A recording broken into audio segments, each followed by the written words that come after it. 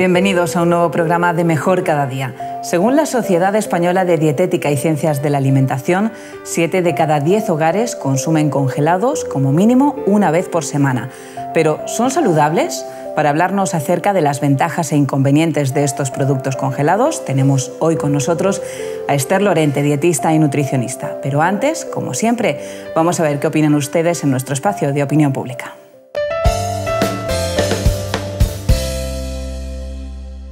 ¿Según qué cosa? Yo creo que sí. Más bien casi todos diríamos que sí. No, porque tienen menos calidad. A mí me parece que sí. Yo es que no soy de congelar mucho, pero yo pienso que no. Pues hombre, yo creo que, que no. O sea, no es lo mismo un congelado que un fresco. Tiene que tener muchas vitaminas, también un fresco y todo, pero yo creo que no, no es lo mismo. Sí, son iguales, saludables, porque se congelan en alta mar, dicen. Muchos. Yo creo que, que algunas cosas tienen hasta el 100%. Ninguno. Que dura más y ya está. Bueno, que son más baratos y los puedes consumir en el momento que quieras. Soy anticongelante, pues no le encuentro nada de positivo. Pues sobre todo que no se echa a perder. O sea, tú lo metes en el congelador y lo puedes gastar cuando prácticamente cuando quieras y es, también es un poquito más barato que el, que el fresco. Pues porque como ya viene desde alta mar congelado, no hay una alteración de la cadena alimenticia. Pasan por menos manos y al pasar por menos manos eh, lo, lo hacen más barato. No lo sé. A lo mejor porque si pescan en mucha cantidad, lo congelan y no sé, es que eso ya no tengo idea. Una verdura que está congelada aguanta mucho más. Cuando, cuando una verdura se pasa hay que tirarla. El supermercado pierde dinero, por eso el congelar es más barato. No lo sé porque son más baratos. Pues el día antes, si tú piensas hacer lo, lo que tienes congelado, lo, lo subes a la nevera, pero a la parte de arriba que es donde congela menos. A la temperatura ambiente, supongo. Por la noche lo meto en la nevera y se va descongelando, descongelando. Pues en la nevera, pasarlo de- del congelador arriba al frigorífico y esperar hasta que se descongele. Bueno, con horas de antelación, primero del, del frigorífico a- del congelador al frigorífico y cuando ya está prácticamente descongelado del frigorífico ya podemos sacarlo al aire libre.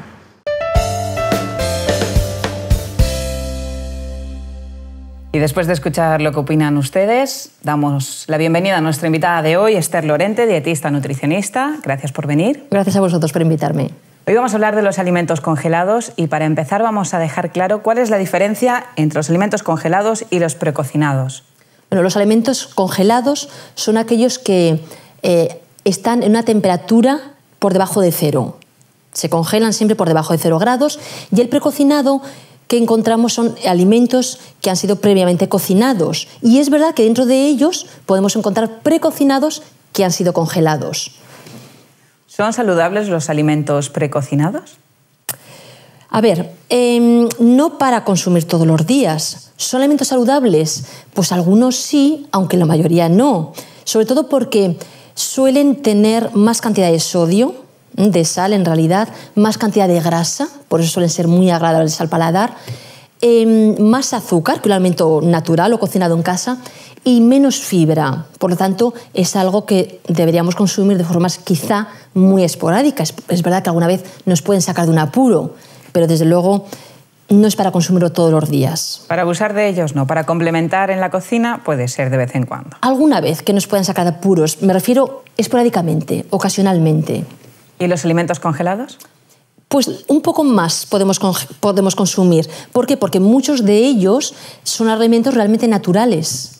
Simplemente han sufrido una congelación, se ha congelado nada más que se recolectan.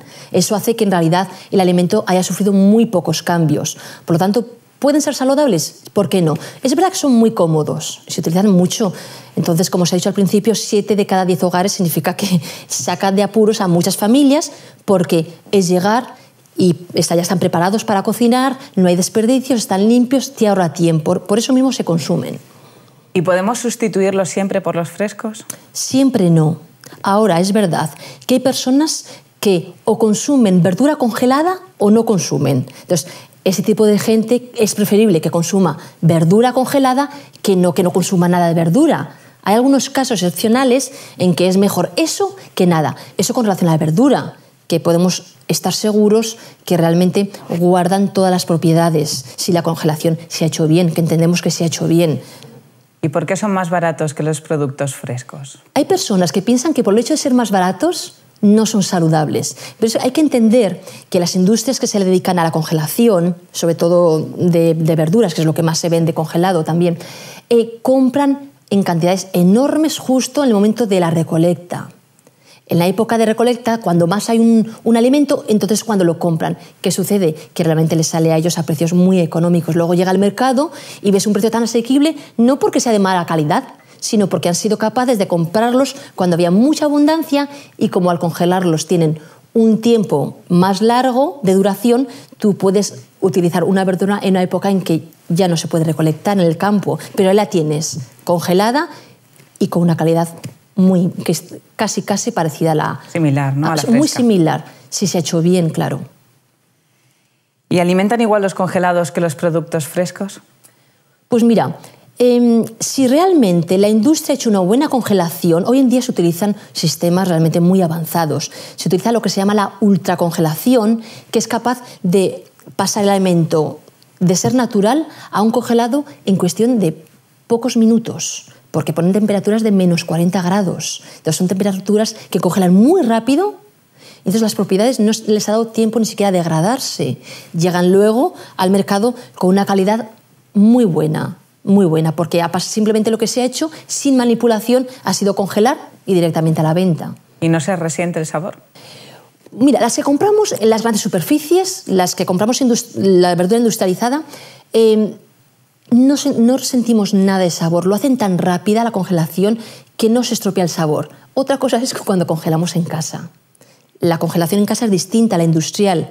Seguramente en casa no podemos hacerlo igual de bien. Por lo tanto, en casa el sabor puede ser que se resienta. Cuando lo compras, cuando la industria lo ha hecho bien, el sabor es exactamente el mismo. Y respecto a la textura, ¿cambia al cocinarlos de un producto fresco a uno congelado? No cambia absolutamente nada.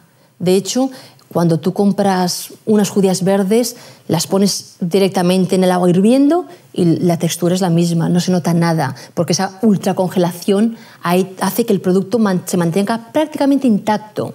Otra cosa es que cuando congelamos nosotros en casa, a veces nuestro sistema de congelación no es el idóneo y congelamos de forma muy lenta. ¿Qué es congelar de forma muy lenta? Cuando entendemos lo que es la congelación, y es lo siguiente, ¿qué es lo que se congela en un alimento? El agua. Es lo único que se puede congelar. Entonces, eh, los alimentos, si tú haces una congelación muy rápida, el agua, como se congela de forma muy rápida, no se forma ni un solo cristal. El agua se convierte rápidamente en congelado. Ahora, si la congelación es lenta, lenta, lo que sucede es que se forman cristales, muchos cristales. Esos cristales hacen que, que la estructura de la célula se rompa la membrana. Eso lo, lo vemos cuando ponemos, por ejemplo, una botella de agua a congelar, se hincha, ¿verdad? Esto es lo mismo. El cristal, el cristal que se ha formado cuando es una congelación indebida, o sea, una congelación lenta, que tarda mucho, lo que hace es que ese cristal se, se agranda y rompe la estructura. Claro, luego lo descongelas y la textura es muy desagradable. Eso nos pasa con algunos alimentos. Congelar patata en casa, por ejemplo, luego sale con una textura tan distinta que hasta no es agradable consumirla. Ahora, tú compras patata congelada eh, industrialmente y es, es exactamente igual. ¿Y nos podría explicar un poco en qué consisten las estrellas que encontramos en nuestros frigoríficos, congeladores? Esa pregunta es muy interesante porque dependiendo del número de estrellas, la congelación en casa va a ser mejor o peor. Digamos que va a garantizar una buena congelación o una peor congelación. Cada estrella, todos los, los, las los frigoríficos vienen, los congeladores vienen con un número de estrellas, una, dos, tres o cuatro. Cada una de ellas significa que ese congelador es capaz de congelar 6 grados. Es decir, una nevera que tenga una estrella congelará máximo 6 grados. Que tenga dos, menos 12. Si tiene tres, menos 18. Que menos 18 es el número de grados mínimo que necesita un producto para asegurar cierta calidad y sobre todo cierta seguridad alimentaria. Y ya cuando son cuatro estrellas, hoy en día la mayoría tienen cuatro estrellas, porque se han dado cuenta que es la mejor forma de que la congelación se haga de forma adecuada. Es más, los congeladores que tienen cuatro estrellas tienen un sistema en que puedes hacer una congelación rápida. O sea, tú pones en la parte de arriba, sobre todo en el cajón de arriba, lo que quieras congelar, presionas un botón que suele haber en todos los congeladores y en una hora se congela. No igual que en la industria, pero desde luego es lo más parecido. Similar, ¿no? En casa. Es similar. Ahí tardas una hora mínimo, sin embargo en la industria va súper rápido, pues temperaturas muy bajas. Aquí, menos 24 grados, lo coges rápidamente. Y aunque ha dicho que la mayoría de los frigoríficos actualmente tienen cuatro estrellas, tenemos que fijarnos en casa cuántas estrellas tenemos, porque un mismo producto podemos, aunque lo compremos congelado, guardarlo menos tiempo, ¿no? Sí, es que en realidad cada alimento tiene su tiempo para guardarlo de congelación. Tú no puedes comprar algo y congelarlo, o sea, algo congelado, meterlo en la nevera o en el frigorífico o, o seguir, si lo quieres seguir congelando, el tiempo que tú quieras. No se puede. Todo tiene una caducidad. ¿eh? Hay cosas que pueden aguantar tres meses, hay alimentos que pueden aguantar seis meses, pero siempre hay que hacer caso al fabricante. El fabricante te dice, por ley, cuánto tiempo ese producto puede seguir congelado. Eso hay que verlo. Es decir, no podemos tener lo que queramos, tenemos que estar pendientes. Si pone tres meses, son tres meses. Tres meses significa, no es que al cuarto te va a sentar mal, pero significa que durante esos tres meses el fabricante se responsabiliza de que ese alimento está en buen estado. Y no a ver, y a nivel de sabor y de textura es impecable. Si pasas de ese tiempo puede degradarse un poco, aunque esté congelado. Eso es lo que el fabricante quiere decir. Tú descongélalo, max, guárdalo el tiempo que yo te digo. Si te pasas de ahí, la responsabilidad ya es tuya. Es importante hacer caso al fabricante, que ellos saben exactamente cuánto tiempo un alimento puede seguir estando congelado. ¿Y podemos congelar un alimento que ya hemos descongelado previamente? Es un arma de doble filo, porque cuando tú descongelas un alimento, tenemos que entender que hay ciertos microorganismos que se han quedado latentes, inhibidos por la congelación. No mueren, no desaparecen, están allí, pero están latentes. ¿Qué sucede cuando descongelas algo? Automáticamente, aunque sean minutos, esos microorganismos, en cuando empiezan a encontrar una temperatura superior a esos menos 18 grados, se encuentran en su salsa y empiezan a proliferar. ¿Qué ocurre? Si tú dices, lo sacas media hora y cambias de opinión porque vas a hacer otra cosa, vuelves a congelar un alimento donde ya hay muchos más microorganismos que la primera vez que lo has congelado.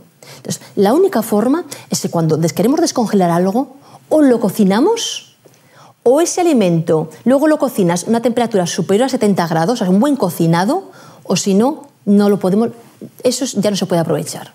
Podemos cambiar de opinión, pero yo aconsejo no cambiar de opinión. Si sacamos del congelador algo, hagamos uso de él porque no se puede volver a congelar. Aunque han sido 10 minutos, se proliferan los microorganismos a una velocidad enorme. y es un riesgo para la salud. Una vez descongelado ya, aprovecharlo, cocinarlo. Hay que cocinarlo. Y si lo cocinas y no te apetece, lo puedes volver otra vez a guardar porque no ha dado tiempo a que realmente los microorganismos se desarrollen, porque con el cocinado allí sí que mueren cuando pasan de 70 grados ya no sobreviven. Entonces, eso sí que te garantiza que puedes volver otra vez a congelar, si no, desde luego, el riesgo de infecciones es alto. Tenemos que tener cuidado con eso, que a veces no le damos importancia. Respecto a cómo descongelar, escuchábamos en el espacio de opinión pública que había gente que decía que es mejor descongelar dejándolo en la nevera, bajarlo del congelador a la nevera, y otros decían dejarlo fuera a temperatura ambiente. ¿Cuál es la forma correcta? ¿También podemos utilizar el microondas? Pues mira, depende. La gente que ha dicho que se puede descongelar a temperatura ambiente, eso es tener, bueno, jugársela, porque aumentas mucho el riesgo de proliferación microbiana, porque es lo que he dicho antes, cuando tú sacas un producto no se puede estar a temperatura ambiente. ¿Por qué? Porque, precisamente porque esos microorganismos aprovechan para desarrollarse ¿no? y multiplicarse. Lo ideal, si es pequeño, si es un trozo de algo pequeño, y delgado lo podemos meter en microondas y descongelar, no hay problema. Pero ¿qué pasa si es algo grande? Por eso recomendamos nunca congelar cosas muy grandes. Es mejor partirlo en trozos y descongelarlo. Trozos pequeños porque la congelación también es más uniforme. Y ahora descongelar, lo ideal es meterlo directamente a la nevera. Si es verdura, se echa en agua caliente, en agua hirviendo. Directamente no hace falta descongelar. Hay ciertas cosas que no hace falta que pase por la descongelación croquetas que has congelado se pueden freír directamente, verdura, pero si hace falta descongelarlo, nunca a temperatura ambiente, siempre que pase por la nevera. ¿Por qué? Porque la nevera mantiene una temperatura que impide que realmente los microorganismos se vayan desarrollando, ¿vale? Digamos que es como que se encuentran en su salsa en cuanto la temperatura aumenta. Entonces, cuida, que luego cuando lo ingieres tiene sus riesgos. A temperatura ambiente también es cierto que se queda como aquel que dice el agua, ¿no? De que se va descongelando y ahí es donde se reproduce. Claro. Es que esto, cuando hay una congelación, lo que, como lo que se congela es el agua, si lo hacemos de forma lenta, que es, como se hace muchas veces mal hecho en casa, ¿qué pasa? El agua tiende a irse al interior del alimento, es como si fuese inteligente, ¿sabes? Como si huyese de la, de la congelación y se va al interior del alimento, arrastra, digamos, ¿no? Se concentra en el interior, no todo, pero... ¿Y qué pasa? Que arrastra con, con, con el agua, se arrastran las vitaminas y los minerales. Entonces, claro, eh, una descongelación hay que hacerla como es debido para que sea uniforme, para que el agua esté en todo el alimento de forma homogénea, no que luego a la hora de descongelar te encuentras justo en el centro mayor líquido. Eso, es desagradable luego de cara al paladar, sobre todo aparte del riesgo ¿no? bacteriano que tenemos. ¿Y qué es la cadena de frío? Pues como su nombre indica, es una serie de eslabones, de pasos que, se, que van desde que se recolecta un producto hasta que llega al consumidor. Entonces, cuando se recolecta un producto que va a ser para congelación, sigue una serie de procesos que es bueno que en ningún momento se rompa esa cadena porque me está asegurando a mí que me llega con una calidad extraordinaria. Cuando nosotros encontramos un producto, ya no se ve casi, está, eso está muy, muy revisado. Cuando encontramos un producto congelado que está lleno de escarcha, ya podemos asegurar que la cadena de frío se ha roto. Un alimento nunca puede estar rodeado de escarcha Nunca. Significa que el agua que ha habido se ha descongelado y se ha vuelto otra vez a congelar. Es decir, en algún momento ese frío ya no, ya no estaba, ha desaparecido y ha aumentado la temperatura. No sabemos cuándo ni en qué momento del proceso, porque son varios pasos, pero desde luego para mí, para el consumidor, ya no es seguro. El fabricante lo sabe y los vendedores lo saben, los productos, los, en fin, han llegado a tirar productos y camiones enteros porque, por ejemplo, un congelado, un camión congelador se ha estropeado. Eso tienen que tirar. Así funciona. ¿Eso tendrá un coste económico también? Estamos hablando de seguridad alimentaria, eso está muy regulado. Podemos estar seguros que lo que nos llega, desde luego, es, una, es buena calidad porque la ley es muy estricta en ese aspecto. ¿Y qué pasa si rompemos esa cadena? Pues vuelve otra vez a aumentar el riesgo, porque imagínate que un alimento eh, congelado de repente aumenta la temperatura porque se ha roto el congelador por lo que sea, en, alguna, en alguno de los pasos se ha roto y ha aumentado X grados la temperatura. ¿Qué pasa con los microorganismos que hay? Latentes, deja de estar latentes, vuelven otra vez a vivir y a desarrollarse y a multiplicarse de forma que luego, si lo vuelves a congelar, siguen estando el número que has dejado desarrollado. Se empieza con X números, lo congelas, ahí se quedan latentes. Pero si se medio descongela por el camino, eso se ha multiplicado por 20 o por 200, vuelves a congelarlo, claro, te encuentras con un alimento que tiene muchísimos más microorganismos de los que tú deseas a la hora de consumir un alimento. Debemos tener cuidado entonces nosotros cuando vamos a comprar, no romper esa cadena de frío hasta que llegamos a casa. Exactamente, por eso se recomienda que este tipo de alimentos congelados que se suele comprar sea lo último que hagas.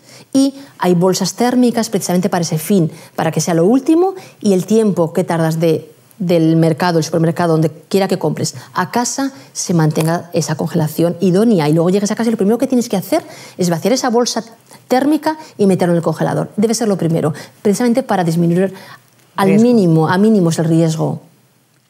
¿Cómo sabemos que no se ha roto esa cadena en el trayecto hasta la tienda de los productos? Pues la verdad es que hace años se veía a simple vista, veías bolsas llenas de, de, de esas escarchas y que era un poco desagradable, ahora ya no se ve. Pero es verdad que hay muchos adelantos con relación a eso. Están inventando cosas que son fascinantes. Es un, es un mundo todavía por explorar, pero están inventando etiquetas que cambian de color, que tienen unos sensores que cambian de color cuando el producto, por ejemplo, empieza a deteriorarse. Es genial.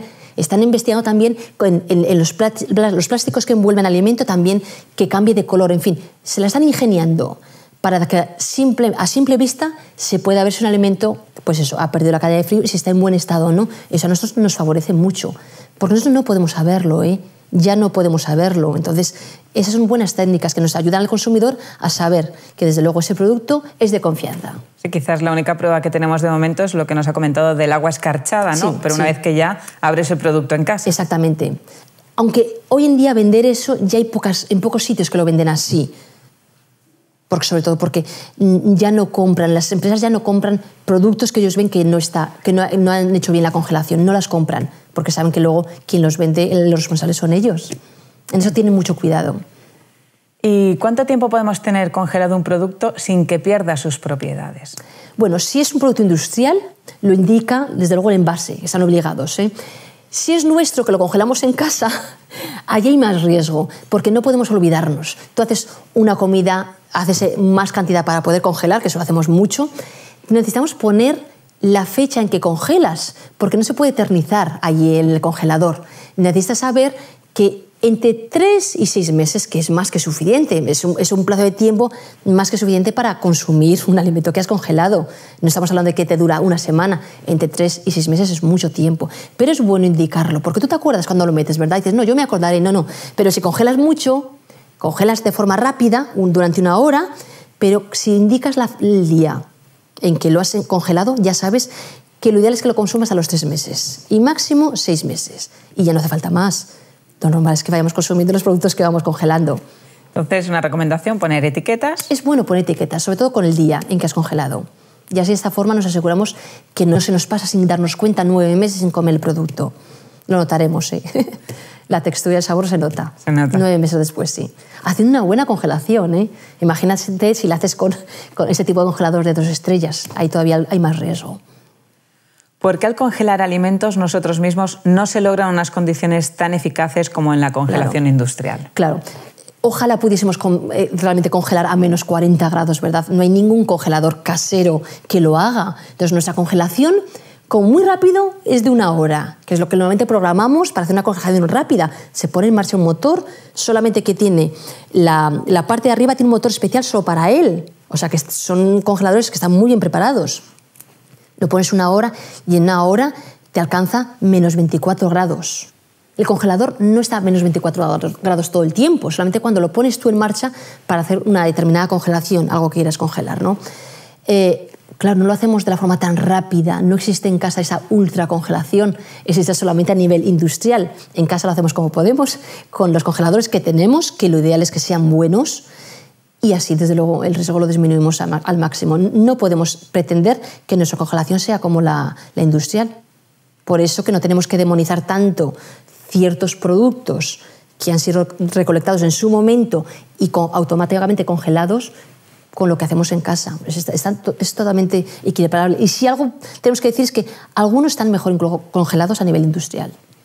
En el caso del pescado, uh -huh. eh, congelarlos evita la aparición de parásitos. Hay un parásito concretamente que además como los parásitos si no son microscópicos son visuales y concretamente el anisakis es un parásito que se ve a simple vista da un poco así de, de aprensión o cuando lo ves porque a veces evisteras un pescado y en algunos pescados está en un porcentaje muy alto, incluso un 60%, ¿eh? de ciertos pescados aparece ese, ese, ese parásito.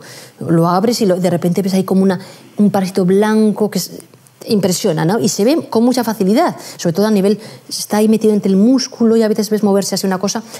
La única forma, eso puede causar realmente efectos o muy leves, desde muy leves, problemas gastrointestinales muy leves, hasta problemas realmente muy graves. Es verdad que no es, no es frecuente esos problemas graves, ¿eh? pero puede dar tener hasta incluso un shock anafiláctico en casos ya extremos. Pero la mejor forma de garantizarnos que ese parásito muere, y ya no es que queda latente, es que muere, ¿eh?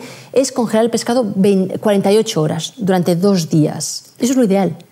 Mínimo. Cuando tú congelas el, pes el pescado, te garantizas que si hay anisakis que no lo sabes, ¿Mm? Lo puedes ver, pero a veces no siempre se ve porque está metido ahí entre escondido.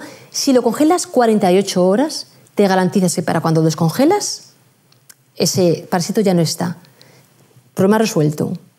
Quien no quiera congelar, no todo el mundo congela el pescado, claro. Entonces hay que cocinarlo.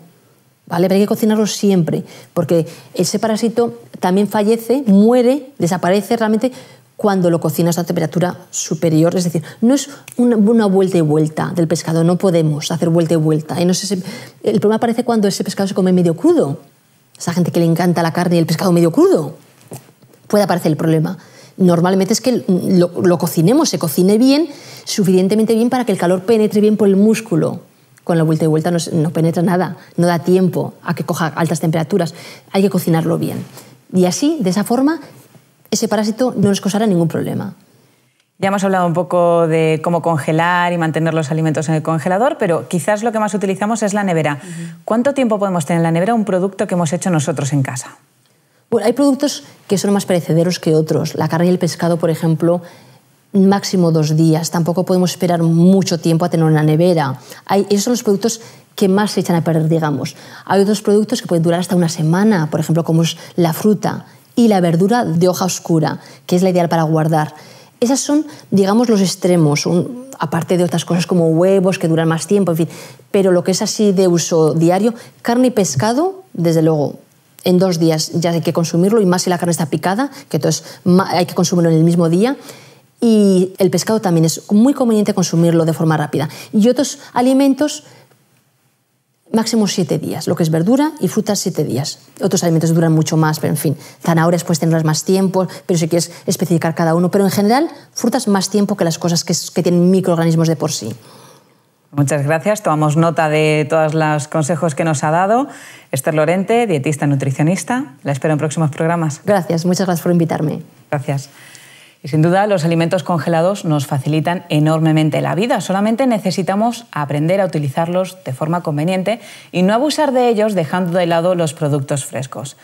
Ahora vamos a ver un resumen de las ideas principales del programa de hoy en nuestro espacio, en pocas palabras.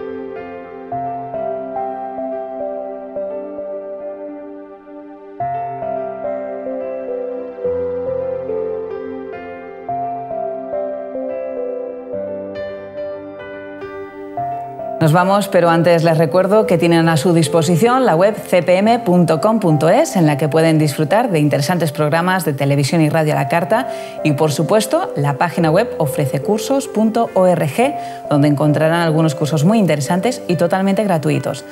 Además, si desean hacernos llegar sus opiniones, dudas y propuestas para futuros temas, les invito a escribir al programa Mejor Cada Día al correo electrónico contacto cpm.com.es. Nos vamos, pero ya saben, les espero en el próximo programa. Muchas gracias y hasta pronto.